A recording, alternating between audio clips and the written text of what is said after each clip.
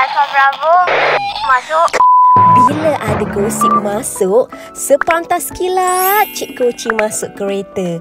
Gosip dalam kereta.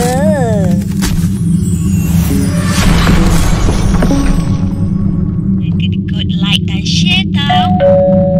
Assalamualaikum dan hola semua. Selamat datang ke Cik Koci Channel. Jom-jom malam ni kita nak cerita mengenai Masya Allah, apa dah jadi? Nelofa buka purdah dan dah tak berpurdah.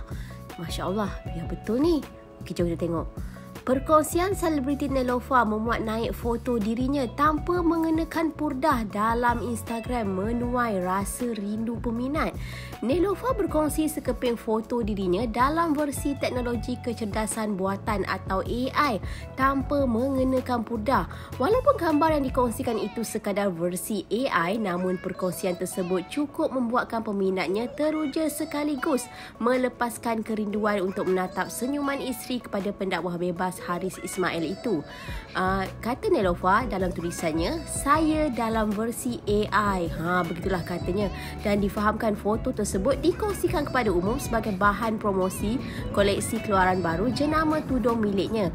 Dan dalam ruangan komen, ramai peminat melahirkan rasa rindu untuk menatap wajah pengacara yang juga usahawan cerita itu. Kata netizen, rindunya nak tatap wajah Nelofa. Versi AI pun jadilah, kata seorang pengikutnya. Rindu nak tengok senyuman Nelofa Nelofa, ujar seorang pengguna Instagram.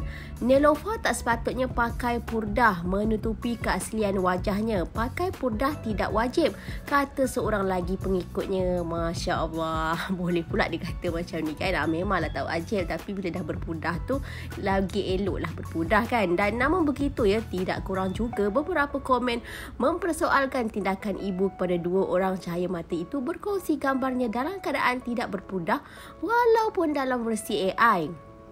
Uh, kata netizen, muka dah elok tutup pergi buat versi AI pula, tegur seorang peminat.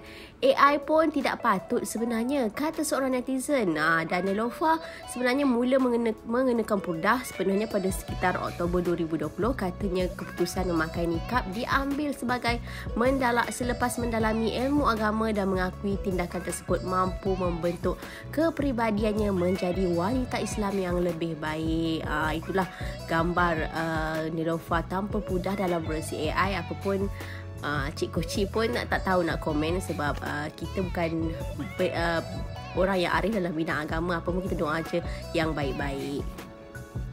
Dari subuh, Cik Koci bagi gosip terbaik semestinya dalam kereta. Terkadang mengejutkan. Sampailah ke malam. Jangan kedekut like dan share tau. Hashtag sepantas kilat. Dah habis tengok semua? Cik Koci nak pesan sikit boleh tak? Kita yang kita dengar bersama ni tak tahu kesahihannya. Jadi perlu berhati-hati sebab Cik Koci pun petik dari media-media hiburan tempatan.